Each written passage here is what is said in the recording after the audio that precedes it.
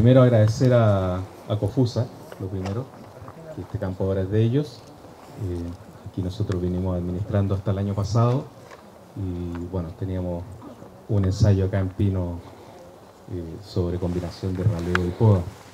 Eh, presentarnos para los que no nos conocen, yo soy Daniel Ramírez, trabajo en cambio, me estoy a cargo del área técnica. Él es Juan Pablo Burgos, también trabaja en cambio, me está encargado de, de todo el tema mensura, información forestal, cartografía, ensayo, etc.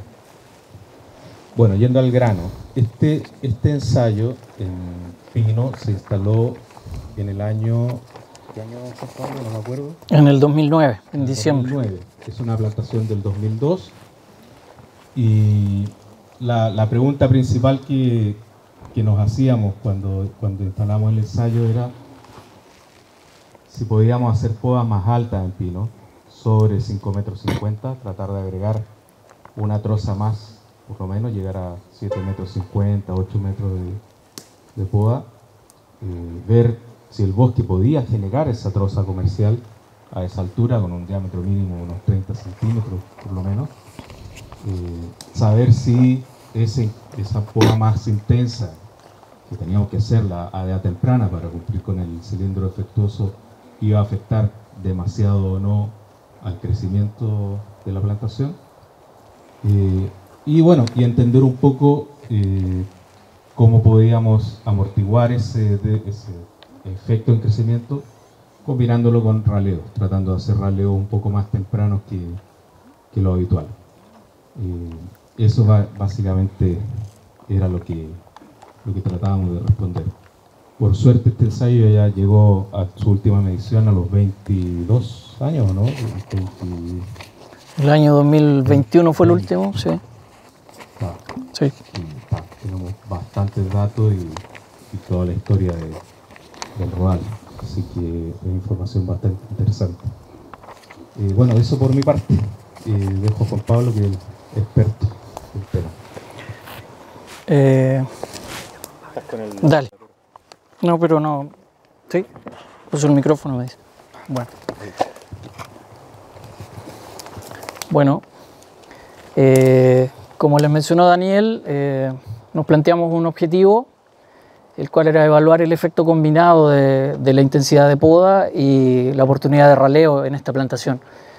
Y a su vez, eh, quisimos plantearnos una hipótesis, ya que todo el, diseño de este, de este ensayo tiene un tema estadístico de por medio y nos planteamos que aplicando un raleo temprano con una mayor intensidad de poda, podíamos obtener mejores resultados en cuanto a, crecimiento y a, y a la calidad de la madera. Esa era nuestra hipótesis para probar. El ensayo eh, tiene un diseño de tres bloques que son completos al azar con ocho tratamientos y cada bloque cuenta con una parcela. Estas parcelas eh, para la medición y la instalación son parcelas circulares de 800 metros cuadrados. En términos de la instalación, eh, vale la pena destacar que este ensayo tiene un entre comillas gemelo que se instaló en un predio de Tacuarembó. El predio se llama Las Grutas. La única diferencia entre ellos es el, año de plantación. Eh, este ensayo de acá es del 2002 y el de Las Grutas es de Untaeda del 2001. Pero en todo lo demás eh, son, son similares y tuvieron la misma cantidad de mediciones y el seguimiento fue el mismo.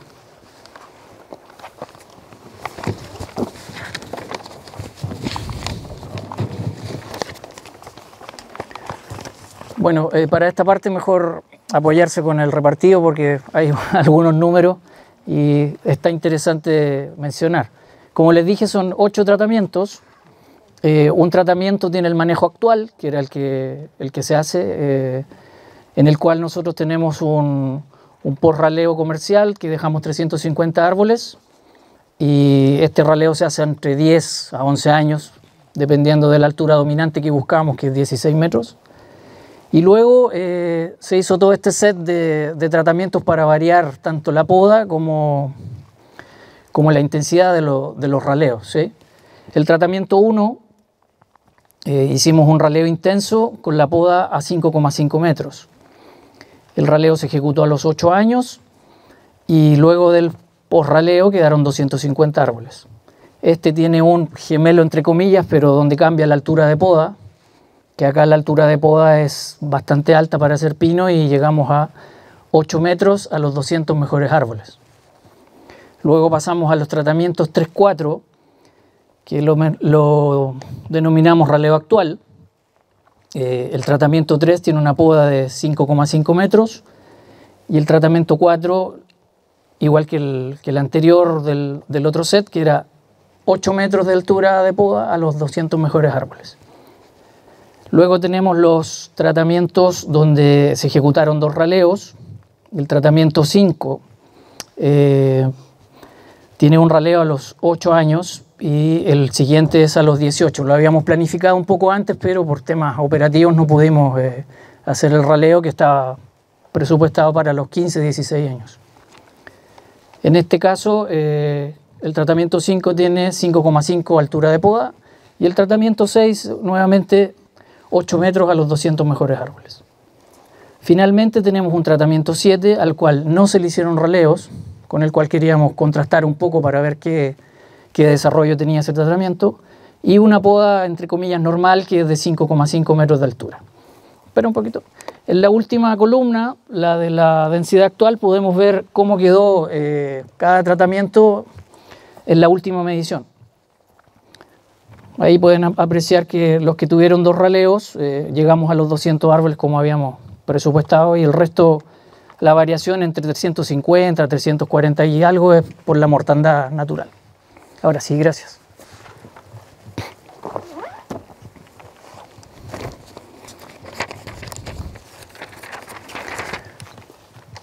Bueno, en términos de las mediciones, eh, como mencionó Daniel, el ensayo ha tenido un seguimiento bastante prolongado, eh, lo cual hace que sea interesante la revisión de estos datos. Y en total fueron 10 mediciones, eh, partiendo en diciembre de 2009, con 7 años y medio de edad del, del rodal, y terminando en septiembre del año pasado con 19 años. Esto nos da que las mediciones eh, alcanzaron un total de 12 años más o menos entre que se instaló y la última medición.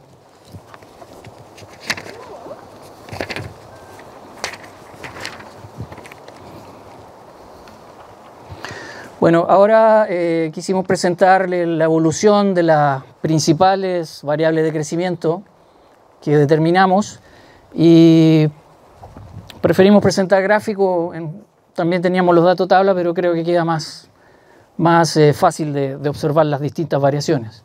En este caso tenemos eh, el desempeño o el desarrollo del diámetro, del DAP, en donde podemos apreciar que los tratamientos de raleo intenso, tanto el de poda 5,5 metros como el de la poda 8 metros, fueron los que mejores resultados de diámetro obtuvieron. Por el contraste, el tratamiento sin raleo es el que menores crecimiento eh, presentó. La siguiente.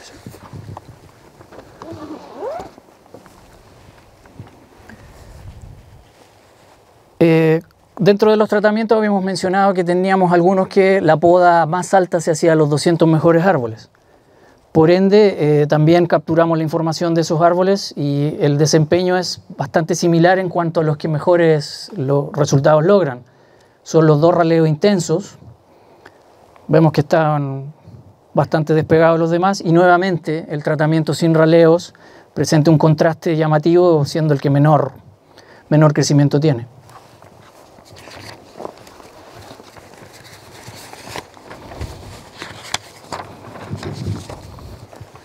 En cuanto a la altura total, bueno, acá eh, no es tanta la diferencia, no se nota un, contraste llamativo como en el caso de los diámetros. Y acá el, tratamiento que, presenta un valor más alto, si bien son bastante parecidos, pero es el de dos raleos con poda normal. Eh, el resto están bastante, si se fijan, eh, no hay tanta diferencia como con, la variable diámetro. La siguiente, por favor.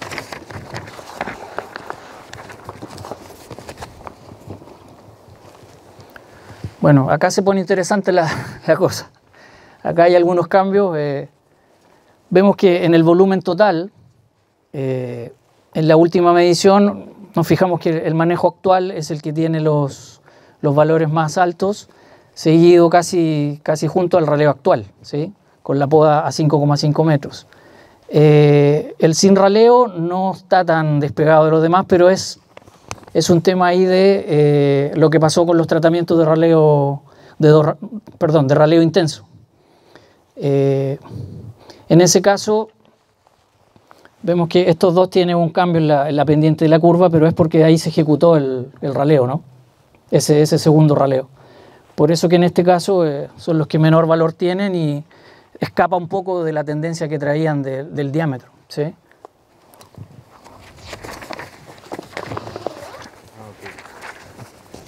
Los de dos raleos. Claro, los son los, de dos raleos, perdón. Capaz que hice un, comete un error ahí. Ahora, cuando consideramos los 200 más gruesos nuevamente, vuelve un poco la tendencia que traíamos con los diámetros. En este caso vemos que nuevamente los raleos intensos tanto con la poda 5,5 como a 8 metros, son los que mayor volumen total generan. Y a su vez, el sin raleo, nuevamente es el que está por debajo de todos los demás. ¿sí?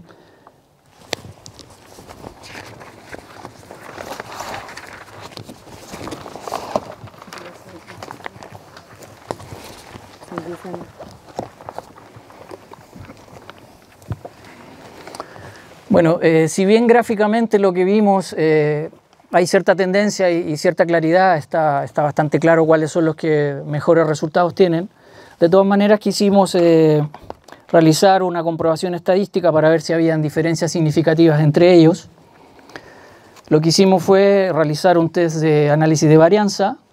Consideramos las variables que ya les mencioné, que eran los diámetros, la altura, el volumen, y le incorporamos dos indicadores, de, uno de la madera podada, el porcentaje o la proporción de madera podada para diámetro sobre 30 y el porcentaje de madera cerrable también para diámetro sobre 30.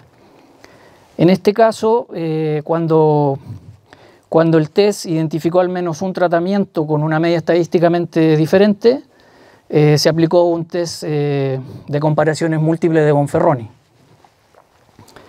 ¿Qué nos indica esto? Que cuando hay letras iguales no hay diferencia estadística entre las medias y se resaltaron los valores más contrastantes, digamos, los que tenían eh, el menor valor y los con mayores.